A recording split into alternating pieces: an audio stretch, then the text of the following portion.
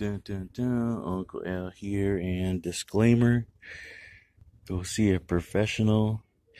Warning this stuff could be crazy. So let's go over it. So I was having a leak 94, 93 Camry four cylinder, and still a little bit leaking. But I put this in the power steering and uh, it seemed to work. But let me tell you a story. I was Stevie Wonder was painting the lines in a construction zone, and there was sharp turns, and uh, I missed the turn. I'm like, what? The steering wheel didn't respond.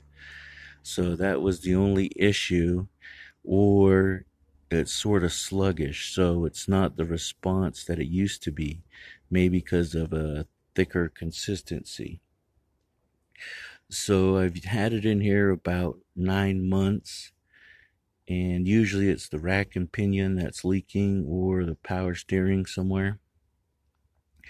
If you pull out the engine, make sure you replace the power steering pump because that thing is a zoo down there and close quarters. So, so far it's been working, but again, danger. That one time it just didn't respond and I had to do a sharp turn and I barely, luckily nobody was next to me. But other than that, it seemed to slow. So I'm going to say beware steering response is different and it could be something else in the steering, but just be careful. But I finished off one bottle in about nine months. So I just fill it up every once in a while.